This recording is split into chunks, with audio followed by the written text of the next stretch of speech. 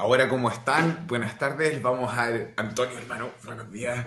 Desde el otro lado del planeta, Andrew, good morning. Sir, eh, bueno, a todos quienes escucharon a Token Aliens, vamos a hacer un redoble de tambores porque viene ahora algo que nos encanta. World Mobile Token y todo el trabajo que están haciendo para conectar a los desconectados. Por favor, lo escuchamos. Great. Um, hi, everybody. Um, first of all, I want to say thank you very much for having us. Thank you to Ada Solar for organizing this for us. I also want to thank everybody who's attending online and in person for taking your time and listening to our story about World Mobile. Um, I'm Andrew. I'm one of the co-founders of World Mobile. Uh, originally from Kenya, East Africa, spent a lot of my time out there. And I'm going to pass on to my colleague Antonio, and he's going to run through the slides because uh, he's better at Spanish than me. Thank you very much, everybody. Hola, buenos días a todos. ¿Qué tal? ¿Cómo estáis? Eh, encantado de estar en este evento. Y bueno, yo soy Antonio, soy el CTO de World Mobile. Como siempre digo, en un proyecto tan grande, el CTO es aquel que sabe un poquito de, todo, pero no puede entrar a fondo en nada. Así que os voy a dar una pequeña presentación sobre qué hacemos en World Mobile. Y, como comentaban al principio del stream, eh, en el mundo de blockchain hay mucha atención sobre el Layer 1, Layer 2, la capa 1, la capa 2, eh, pero existe muy poco, muy poco foco en la capa 0. Y, la capa 0, siendo la energía y la conectividad, es algo que es indispensable para poder tener todo lo demás. Entonces, eh, creemos que en World Mobile podemos ofrecer esa capa cero. Y esto es un, es un reto global. Existen más de mil operadores de red móvil en el mundo y solo dan servicio a la mitad. La mitad del mundo está desconectada y no tienen acceso a sanidad, a educación, a otros servicios de calidad con lo cual se ven abocados a la pobreza. El acceso a Internet es un derecho humano, es un derecho como también lo es el agua, como es la comida, como es la electricidad. Entonces, esa es nuestra misión, eh, esa es eh, lo que, para lo que World Mobile nació, para conectar esa otra mitad del mundo. Y bueno, ¿cuál es el origen del problema y cuál es nuestra misión? con la infraestructura actual, eh, eh, la infraestructura clásica de las telecomunicaciones, es muy caro y muy poco provechoso conectar las zonas rurales o remotas. Eh, los usuarios de, todas estas zonas sufren costes demasiado altos si es que consiguen algún servicio. Y, es por ello, es por esta razón por la que los operadores móviles no han logrado todavía resolver ese problema. Entonces, nuestra misión es muy simple, construir la red móvil más grande del mundo, que lleve eh, una conexión de calidad a un coste asequible de manera universal a todo el continente africano y más allá, para que en el año 2030 nos convirtamos en la capa cero que da acceso a todas las tecnologías que se basan en conectividad a Internet. Conectando a la gente que permanece desconectada, pretendemos abrir una nueva economía. ¿Y cuál es nuestra solución? Eh, perdona que vaya rápido, porque sé que vamos justos de tiempo. Nuestra solución, eh, ¿cómo pretendemos hacer todo esto? Son dos grandes apuestas. Una es la red dinámica y la otra es la economía colaborativa. ¿Cómo funciona nuestra red dinámica? Eh, con una combinación de tecnologías que nos permiten reducir bastante la inversión en infraestructura y en el coste de operación, y por bastante me refiero a hacerlo incluso 12 veces más barata que el modelo tradicional de torres de telecomunicaciones. Eh, intentamos conectar esas zonas remotas con tres tipos de o tres categorías de, elementos que están a tres niveles diferentes. Como podéis ver aquí a la izquierda del slide, no sé si podéis ver, sí, creo que podéis ver mi ratón cuando intento ir por encima. Eh, tenemos a nivel de tierra los AirNodes que proveen de conexión eh, a unos cuantos cientos de metros o hasta algunos kilómetros a la redonda. Un poquito más alto, hasta 300 metros de altura, tenemos eh, los aerostatos, eh, que son como unos cepelines, que de facto actúan como super torres de telecomunicaciones. Al llegar a 300 metros pueden ofrecer un rango de cobertura de hasta 70 kilómetros de radio. y más allá de eso, todavía no está la tecnología lista, pero en un par de años creemos que ya podremos lanzar el primero, ya hemos hecho alguna prueba con ellos, las plataformas de gran altitud que nos permiten trabajar a 20 kilómetros de altura y ofrecer cientos de kilómetros, hasta 300 kilómetros de eh, conectividad, de cobertura de ancho espectro. Y estos tres elementos conectándose entre ellos son los que proveen nuestra red dinámica para llevar esa conexión allá donde no llegan otras compañías. Por otro lado, aquí a la derecha tenemos la economía colaborativa. La economía colaborativa nos da la oportunidad de descentralizar no solo la operación, sino también la propiedad de la infraestructura, recompensando a los participantes por sus contribuciones a la red. Esto, esto nos permite hacer unos despliegues simultáneos que no están limitados a la, a la capacidad de World Mobile de conseguir inversión. Y para poder hacer todo esto necesitamos soluciones de bajo coste que permitan a los operadores procesar transacciones con la ayuda de blockchain sin la, necesidad de tener centros de operación centralizados. Todo esto conjuntamente, la red dinámica y la economía colaborativa, nos permite reducir el coste global de operación y así poder llegar a muchos más lugares que las compañías tradicionales de telecomunicaciones o de lo que las compañías tradicionales de telecomunicaciones han conseguido hasta ahora. Pasamos a la siguiente. Aquí tenéis una pequeña representación gráfica de, lo que estábamos hablando ahora, ¿no? De estos tres tipos de nodos. Las plataformas de eh, a gran altitud, los aerostatos y los ERNOs a nivel de tierra, cómo se interconectan y cómo permiten eh, darnos una cobertura más extensa en lugares remotos. Si entramos un poquito más detalle en el, en el aerostato, que es eh, a finales de, este mes, principios del que viene, tenemos el despliegue de nuestro primer aerostato en la isla de Zanzíbar. Em, también lo, llamamos Super, Super AirNode porque ofrece mucha más conectividad que un AirNode a nivel de tierra. El, aerostato se compone o está sujeto a tierra por tres cables diferentes que nos permiten limitar la inclinación, la dirección y la rotación. Es decir, el aerostato no está volando libremente, está eh, atado a tierra. Entonces, incluye un software eh, que, ayudado por inteligencia artificial, nos permite controlar y monitorizar el vuelo. Si, llega un huracán, por decir algo, y el, aerostato no puede resistir unos vientos tan fuertes, a pesar de que puede resistir hasta 150 kilómetros por hora, creo que, era la, figura, eh, pues ese software se encarga de bajar el, el, aerostato a tierra, empaquetarlo y volverlo a subir una vez ha pasado el peligro, ¿no? Eh, la fibra óptica por la que viene la conexión va desde el suelo, a través de uno de esos cables, hacia el bloque de telecomunicaciones que hay instalado en el, aparato. Y este paquete de telecomunicaciones pues incluye tanto espectro licenciado como puede ser el 5G o el LTE, como espectro que no necesita licencia, como puede ser Wi-Fi. También eh, estamos incluyendo dentro de este paquete eh, tecnologías para el rastreo marino como ICE o tecnologías de bajo consumo con redes de, área amplia como Sigfox y LoRaWAN. Aquí tenéis un pequeño gráfico de, cada una de esas frecuencias eh, para qué, para qué se, se, utilizan y un poco el caso típico de uso de cada una de ellas. ¿no? Desde el GSM con LTE que es lo que es compatible con casi todos nuestros dispositivos móviles que tenemos cada uno de nosotros, eh, pasando por, por CBRS, que es una, novedad que se está utilizando ahora en Estados Unidos, que es no licenciado para intentar ampliar esa conectividad en las zonas remotas en las que el GSM y el LTE es más costoso de que llegue. Nosotros como compañía intentamos seleccionar eh, las bandas de frecuencia que tienen más sentido eh, técnico y regulatorio en cada uno de los despliegues y de los territorios. Y así, a grosso modo, esto es lo que hacemos con World Mobile. Y una de las preguntas que siempre recibimos es, ¿y para qué necesitáis un token? Entonces voy a hablaros un poquito de lo que es eh, Mobile Token. La pregunta es, ¿para qué necesitáis un token? Y aquí os explico para qué dejando, dejando la modestia un poquito a un lado, eh, Mobile Token es uno de los proyectos más grandes en el ecosistema, de Cardano.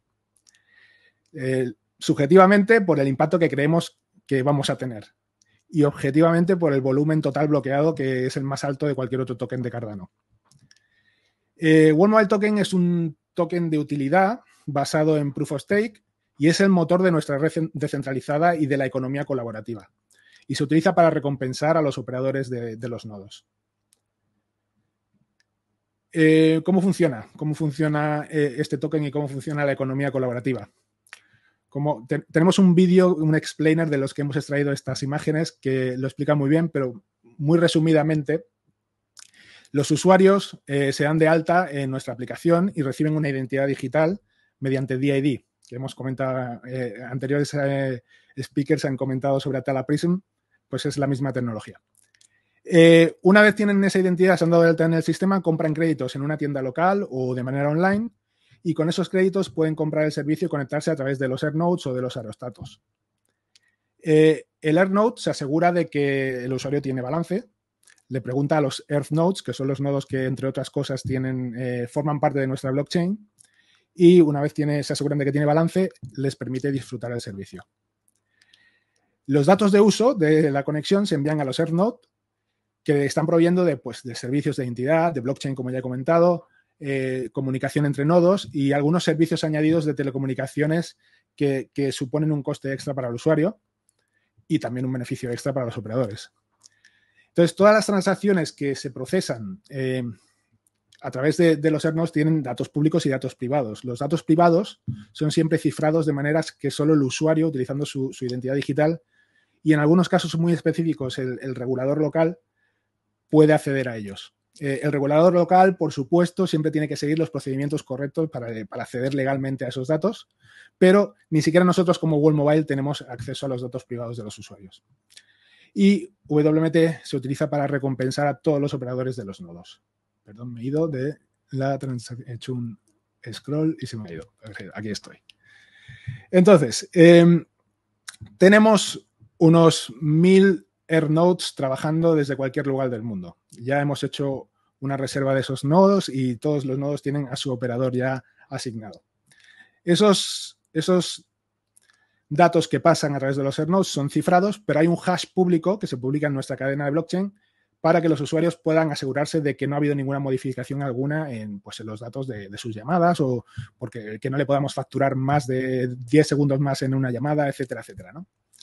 Y cada X tiempo una agrupación de bloques de, esa Cardano mm, sidechain que creamos nosotros en World Mobile es publicada a la red de Cardano eh, para asegurar eh, que la cadena de World Mobile no ha sido manipulada de ninguna manera y dar transparencia a toda la operación de World Mobile.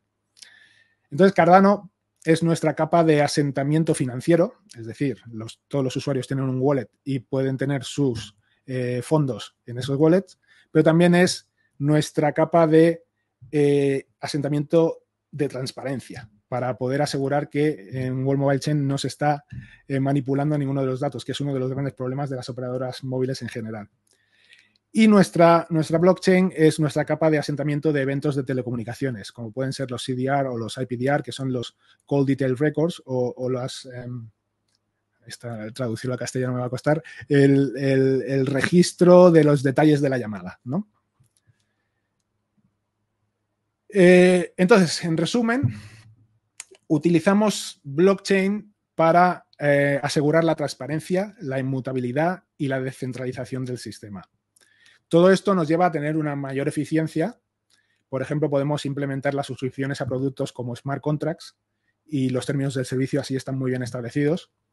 También nos permite dar eh, identidad digital a cada usuario y nos permite que la economía colaborativa sea posible. Si agregamos las recompensas de los operadores, todo esto permite acelerar el crecimiento de la red de una manera exponencial. Por otro lado, los usuarios eh, mantienen el control completo de su privacidad y de los datos. Y mucho más importante, el tener una comunidad que está apoyando el proyecto nos permite que distribuyendo la propiedad de la infraestructura, el crecimiento pueda escalar y hacerse continuo. Aquí en la siguiente eh, en la siguiente diapositiva tenemos una pequeña presentación de cómo funciona la economía circular que, creamos. Como podéis ver, tenemos a, los usuarios que generan transacciones utilizando diferentes servicios que van a la red y estas transacciones son procesadas por los AirNodes y sus operadores que son apoyados por una comunidad de stakers eh, y son recompensados en WNT tanto los operadores como los stakers. Eh, esta, esta WMT, ¿de dónde surge? Pues eh, básicamente los usuarios pagan con dinero fiat, ese dinero fiat llega a World Mobile y World Mobile lo utiliza para comprar en el mercado abierto WMT que recompensa a los usuarios. Así que esa conversión de fiat a WMT está ocurriendo constantemente. Cuando lleguemos a Mainnet, eh, cada usuario de la red tendrá su wallet de Cardano y tendrá su identidad digital, todo creado de manera transparente para ellos. Y con ellos podrán disfrutar de muchísimos servicios de valor añadido. Entonces, creemos que eh, esto, es un, esto, es un, gráfico eh, con, con, intención ilustrativa. Las cajas no están a escala, pero creemos que el potencial de crecimiento de, de este proyecto es masivo. Y bueno, eh, ahondando un poco más en ese ciclo que, os comentaba antes, ¿no? De, de cómo funciona eh, el ciclo de vida de eh, la economía circular que queremos, que queremos construir. Como veis aquí, los, los, suscriptores pagan los servicios en, en, dinero fiat, la tesorería de World Mobile guarda esos fondos, más tarde va al mercado y compra WNT para poder recompensar a los operadores y a los stakers y conforme el crecimiento de la red continúa y tenemos más suscriptores y más personas comprando y utilizando dinero fiat, la presión de compra para WMT crece eh, y como el suministro es fijo, son 2.000 millones de WMT en total mmm, para el resto de la historia, pues todos sabéis qué ocurre con esa presión de compra. Eh, como podéis ver, la volatilidad del token, que es otra de las preguntas que tenemos muy frecuentemente, la, la, volatilidad del token no afecta en ningún caso al usuario final, porque el servicio siempre se paga y se, se, se valora en, en, fiat. Así que el coste del servicio siempre es estable para el usuario. Recientemente hemos eh, lanzado un website eh, llamado WMT Es una versión muy simple de momento eh, y permite visualizar un poco el, la actividad que ocurre en nuestra red. Ya estamos viendo aquí la cobertura que se está generando en la isla de Zanzíbar, eh, un poco de información sobre el token, transacciones que están ocurriendo, que se están asentando en la red de Cardano, etcétera, etcétera. Como os digo, es una, una versión muy básica de momento y conforme la red evolucione y la red crezca, este site irá evolucionando y creciendo con ello. Y bueno, para ir finalizando, eh, aquí tenéis eh, una serie de exchanges, tanto centralizados como descentralizados, en los que podéis encontrar WMT, eh, World Mobile Token, eh, y los pares de cada uno de esos eh, exchanges donde podéis adquirir el token. Y finalmente, pues nada más. Muchas gracias eh, por vuestra atención. Un saludo a todos. Muchas gracias a los organizadores por tenernos aquí. Y un beso enorme a mi pareja y a mis suegros, que seguro que me están viendo mientras cuidan a mi hija para que yo pueda hacer esta presentación hoy en día. Eh, por cierto, si estáis interesados en trabajar con nosotros, visitando worldmobile.io, al final en el footer de la página tenemos un enlace para llegar a, a nuestras listas de, de, posiciones abiertas. Y nada, eh, muchísimas gracias por vuestra atención. Espero que os haya interesado el proyecto y estamos siempre disponibles para contestar preguntas. Si no da tiempo aquí ahora, porque vamos un poquito justo de tiempos, eh, tenemos todos nuestros sociales eh, abiertos para que podáis siempre eh, preguntarnos y, y aprender un poquito más sobre nosotros. Perfecto, estuvo buenísima la presentación. Acá me pasaron una pregunta, va, varias preguntas, pero te voy a hacer una sola porque estamos corriendo con el tiempo. La pregunta es, ¿cómo resolverán el problema de licenciamiento de frecuencias con los altísimos costos que eso implica para realizar un despliegue en distintos países simultáneamente sin afectar la economía del proyecto en fase inicial? Bueno, eh, no, soy, no soy la persona adecuada para contestar el tema de licencias porque todo esto lo lleva Andy. Entonces, eh, si queréis, le traduzco la pregunta y así Andy puede, Andy, uh, they are asking how are we going to manage to to make the project viable with all the licenses costing that are in the different countries, and how how we can do it uh, in a in a financially sensible way. Mm. Great question. Um, so in the presentation, we, we, maybe we alluded to the fact that our model works on unlicensed spectrum we are we are a developer software company and we want to use spectrum that is free and and we're designing all of our tech stack and infrastructure to support that. Um, so we, on top of that, we, we're going to areas with no connection. So we're working with governments today, and and they're very open to allowing us to use spectrum that is not being used in areas. So, for example, maybe a big MNO um, has a frequency that's useful, but they're not using it in half a country. Um, so it's it's becoming very it's it's becoming a big topic now to to allow other people to share spectrum or to provide infrastructure for that spectrum to be used everywhere because everyone has an obligation to cover um, large amounts of countries wherever they go and if they don't the regulator is very interested to step in and, and make a plan with that said we are a very commercial company and we we will be able to afford licenses and, and frequencies where where we deem it necessary to operate Excellent. Thank you very much for your response. Eh, así que lo, los despedimos y continuamos eh, desde el salón. Muchas gracias. Un abrazo. Gracias, everybody. Thanks. Gracias. Andy. Bye bye. Gracias, Antonio. Have a good day. Thanks a lot. You're welcome.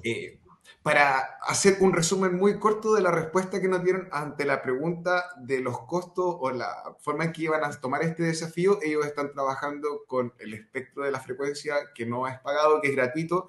Aún así, como empresa, ellos tienen toda la disposición, la infraestructura y los recursos para poder trabajar con las distintas frecuencias, pero que como compañía de software su interés es utilizar y optimizar el recurso, así que no licencias para transmitir la comunicación entre todos.